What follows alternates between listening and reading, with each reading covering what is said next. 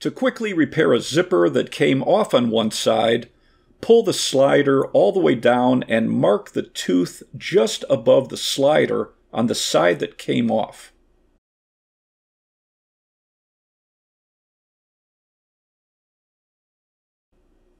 Cut into the material part of the zipper where you marked the tooth.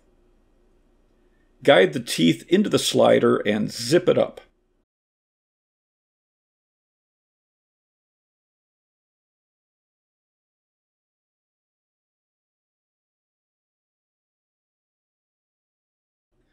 To create a permanent repair, sew the teeth together just above the area you cut to create a stop and prevent the zipper from coming apart.